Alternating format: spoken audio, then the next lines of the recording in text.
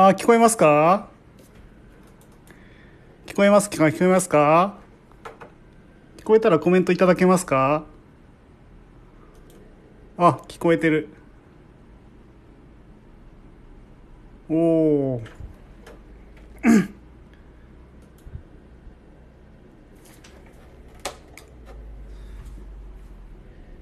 えっとね、今日ちょっと私が自分で配信するのは初めてなんですけど、まあ、ちょっと嫁も子供もいなくてじちょっと事務所にこもりっきりなんでちょっと喋ってもいいかなと思ってちょっとツイキャスフラッとやってみようかなと思いました。でちょっとお題なんですけどもあの今の相場っておそらく2007年に近いなっていうのはすごく感じててででそのことをあのこの間ベルさんの放送でやってでも今の方がバリエーション高いよねと。2007年の方が安かったよねということを言ったらちょっといやデータ上はそうじゃないよって言われたんであれどうだったかなというのを実際に過去の指揮法を見ながらちょっと検証してみようかなと思ってそれちょっと配信しようと思います。あそれでねもし誰か乱入したかったらしてください。私もちょっと喋りたいなと思ってたんで株の話を。もしなかったらもう軽く喋って終わりにしようと思ってます。えっ、ー、とですねまずその なんだろう。これ本当に聞こえてるかなんか。不安ですねこれ。えっとまずねあの2007年の、えー、秋号の今指揮法を見てるんですけどで私いつもその割安銘柄買い買うかもしれないっていう候補に付箋赤い付箋をつけてるんですけどでその赤い付箋がど赤い付箋がどんな銘柄ついてるかっていうのをちょっとね振り返ってみたいと思います。えー、とまずね順を追って1個ずつ見ていきますけどまず1つ目が田辺工業1828えー、当時で、えー、PR が、えー、7.9倍 PBR0.7 倍時価総額51億円ですね、えー、こういう、えー、これが1つ目、えー、次が、えー、これか、えー、共和日清あこれ日清ビルどうかな？あ、違う、共和日清か。共和日清やべ。共和日清だ。共和日清が時価総額44億円で、PR が8倍、PBR0.5 倍。えー、次、えー、2152幼児活動研究会、えー、これが時価総額26億円で PR が9倍 PBR1.3 倍ですねえー、次が、えー、賃貸ですね。あの、2420。まあ、今はもう上場廃止になってますね。えー、PR が9倍、PBR2.2 倍。えー、次が、えー、日本和装ですね。えー、PR5 倍、PBR1 倍ジャストですね。えー、次、ハードオフコーポレーションが、えー、PR11.7 倍、PBR1.0 倍。えー、で、次が、えー、福島フーズですね。えー、2921、えー、今もう上場廃止になっています。えー、東洋水産に吸収合併されています。えー、この会社が、えー、PR が7倍、PBR0.9 倍。で、えー、ちょっとね、あの、これ買ってましたっていう銘柄で、えー、神戸物産なんですけど、えー、PR が13倍で、PBR が1.4倍で、あみなんか僕の記憶よりはだいぶ高かったんだなという、ちょっとやっぱりうろ覚えでしたね。こっからドンと下がったんですね。えー、そして引き続きこれですね、えー、次どれや、えー、99プラス、えー、ショップ99ですね。今はもうローソンに、えー、吸収合併されました。ここは PR が33倍で PBR が1.1倍なんですけど売上に対してのあの時価総額が113億円ということでこれはちょっと面白いというふうに一応つけてました。えー、と売上が何億あったのかえっ、ー、とね1300億円ぐらいあって時価総額が113億円なんでちょっとこれは面白いなということでちょっと、えー、付箋貼ってます。次がチェルト。これもね、えー、イオンに吸収合併されましたね。で PR が9倍、PBR1.7 倍で、これがまあバックオフィスサポート、まあ まあ自販機とかレジ袋とかのね、このいわゆるバックオフィスサポートですか、そういう会社ですね。これもなんだから割ともうなくなってる会社が多いんですよね、こうやって見たら。やっぱりこのバリュー株っていうのはかなり M&A の対象になりやすいっていうのはこれを見ても分かると思います。え次つけたのは、えー、富士港 H3515 これは今もあるかなえっ、と時価総額50億で、えー、PR が9倍 PPR0.5 倍えー、次、朝日ネット3834、えー、これが時価総額97億、えー、に対して PR が11.9倍、PBR が1.4倍。えー、次、付箋つけたのが、あ、これか、えーと、CTS ですね。これが、えー、PR が11.1倍、PBR1.4 倍ですね。えー、時価総額27億円、非常にちっちゃいです。これは今も上場してて、もう何十倍にもなってますね。これも買ってました。え私がやってます？あたたーちゃんがやってますよはい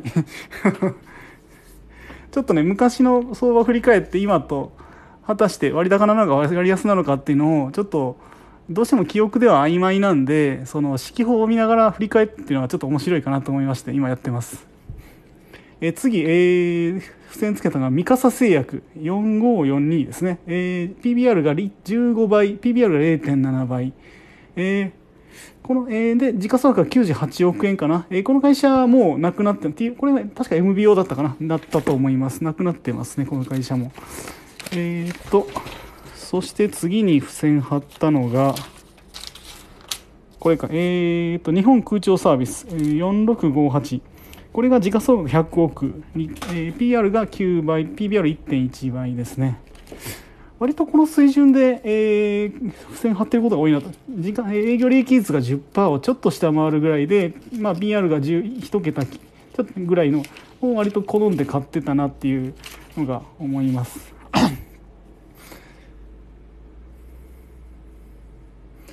え次、桜 KCS4761、えー、これはまだあるかな、今も。えー、これが時価総額70億で、えー、PR が8倍。PBR0.5 倍、まあ、これもネットネット株ですね。として、まあ、少しだけ注目してました。えー、次が、えー、富士通 BSC この会社もなくなったんじゃないかな、えー、この会社が、えー、時価総額113億円。PR が10倍 PBR0.8 倍ですね。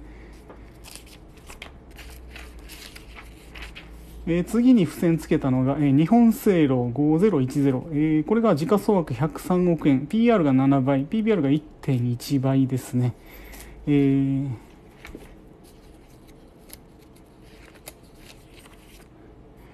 えー、次付箋つけたのが、えー、5208有沢製作所、えー、410億円時価総額。に対して PR が17.9倍 PBR0.9 倍、うん、この会社はまだ残ってますね。え次、三谷積算、え5273、これが、え231億円時価総額。に対して PR が7.6倍、PBR1.0 倍。こうやって見ると、今とよりも結構高いやつも逆にあったりするんだなっていうのがちょっと思いました。えー、次、三遊、えーえー、これは、えー、5697か、えー、これが PR5.9、PBR0.5 で時価総額が32億円でしたね、当時。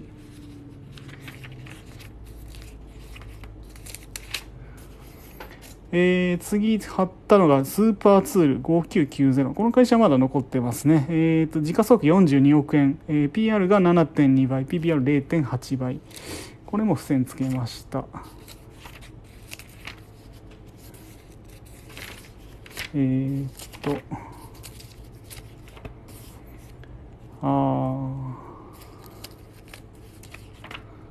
次付箋つけたのがあこれだ。バーテックススタンダードですね。もうこれもあの TOB されてないですね、えー、6821私この株、えー、主力で持ってました、えー、この会社、えー、そうですね。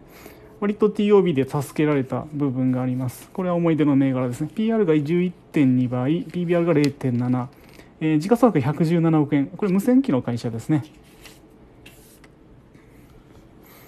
え次、えー、6867リーダー電子、えー、これも、えー、一応付箋つけてるな。なんでつけたんだろう。えっ、ー、と、時価総額77億円で、えーと、PR が10倍、PPR1 倍ですね。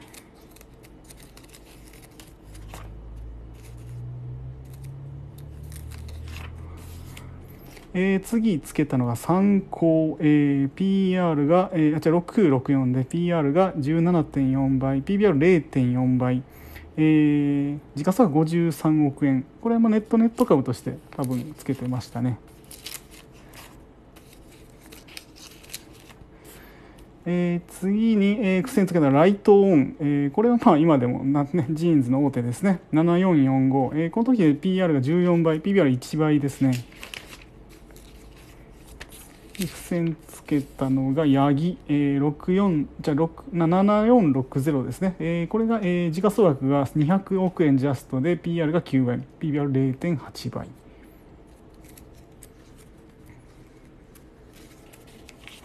えー、次に付箋をやると、えー、ついてのがこれ GFC7559GFC 時価総額が64億円。PR が10倍。PBR0.5 倍、えー、ですね、えー、これも今残ってますね、えー、次、えー、一応ねあとワークマン僕2005年ぐらいに買ってました。2007年はもう売ってましたね。僕ちょっとこの辺が記憶が間違ってました。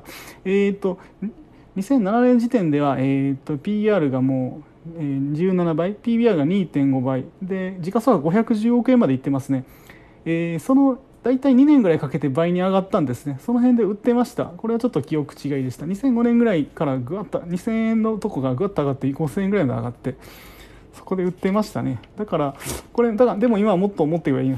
ね今時価総額この10倍以上になってますからまあ持っとけばよかったんですけど。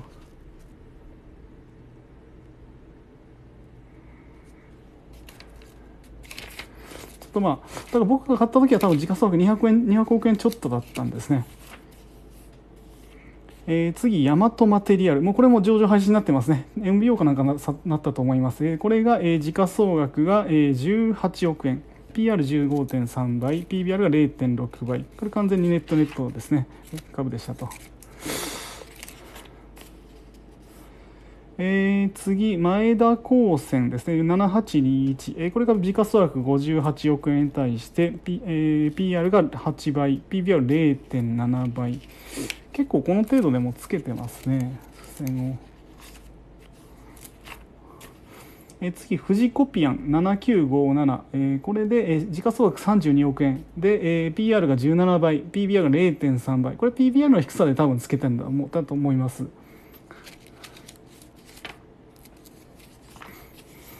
えー、次に付箋がついてるのが横浜マルーオ、えー、8045これが時価総額が49億円、え、PR が24倍。で PBR が0.3倍、え、これ完全にネットネット株として、えー、付箋を貼ってますと。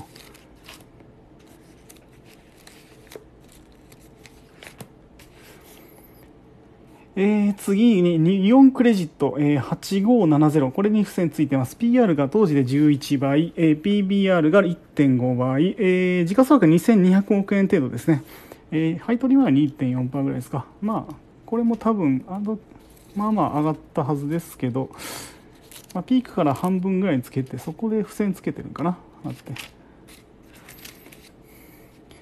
あとは付箋ついてるのがえー、ジャフコ、えー、これが、えー、時価総額2347億円で、えー、PR が23倍。PBR1.6 倍なんですけど割とそのこれは多分チャートで本当の底値になったっていうことで大体これで、えー、いわゆるシクリカルっていう意味で底なんじゃないかっていう意味でつけてたんかなと思います。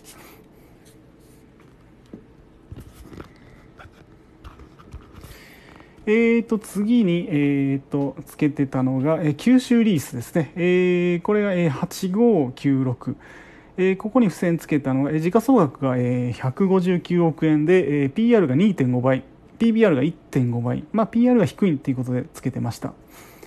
えー、次、えー、つけてたのが8597、えー、SFCG。もうこれ多分ないですね。この会社は もう、あの商工ローンの会社で倒産したかな？だと思います。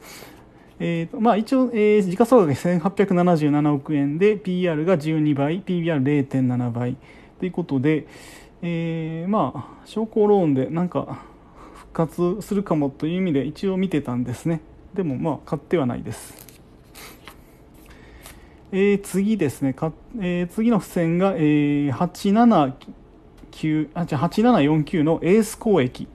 えー、時価総額が129億円、えー、PR11 倍 PBR0.6 倍これは、えー、商品先物の会社で、えー、まあなんか、えー、だいぶ下げてたんでもしかしたら戻るかもっていうね。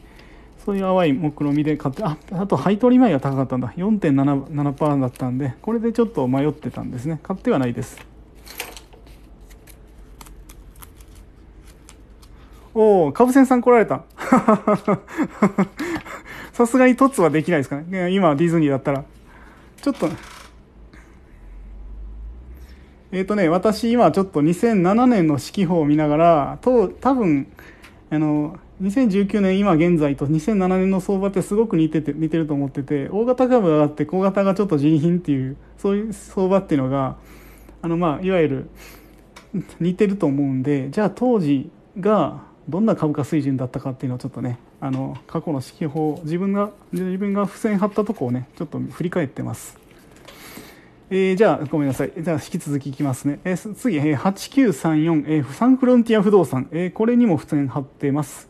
時価総額が4あ646億円、えー、PER が11倍、PBR2.8 倍。まあ、ちょっと高いんですけど、えー、多分でもピークから比べると半分になってたんかな。うん。で、ちょっと一応ちょっと面白いかもと。まあ、でもここ、こっから地獄を見たんですけど、この会社はね。うん。まあ、ちょっとだけ買ったんじゃないかな。ちょっとだけ買ってすぐ売ったような気がする。で、多分、トントンぐらいで逃げたっていう記憶があります。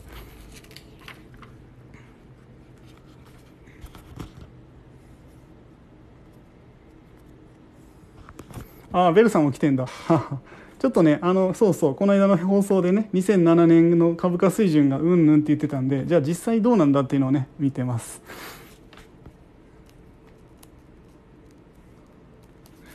えっ、ー、と、次、えー、つけてるのが、え東部ネットワークですね。えー、9036。PR が15倍、PBR0.4 倍、時価総額48億円ですね。まあ、この会社も、まあ、まあ、まあ、万年バリュー、バリュートラップって、ね、言っていいような株ですけど、まあ、この時も安かったと。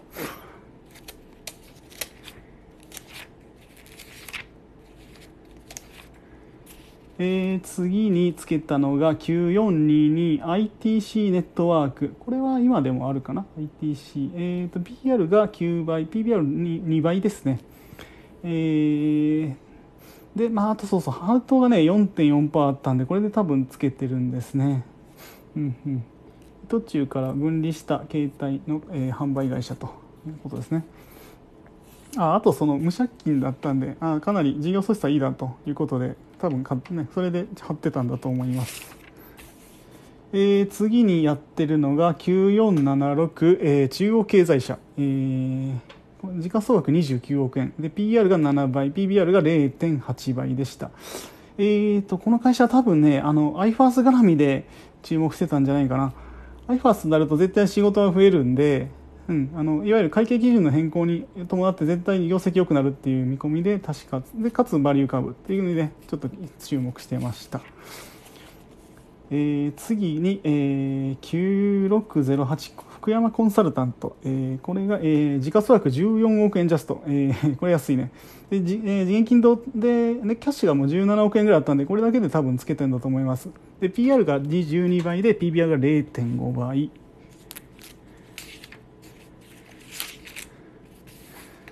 えー、引き続きまして、えー、次、えー、9658ビジネスブレイン太田昭和、えー、時価総額が59億円、えー、PR が8倍。PBR1 倍ジャスト。ですね、えーまあ、これは、えー、今でも残ってる会社ですね、えー、次まして引き続いて次が、えー、9677日本ジャンボ。もうこの会社はもうないです。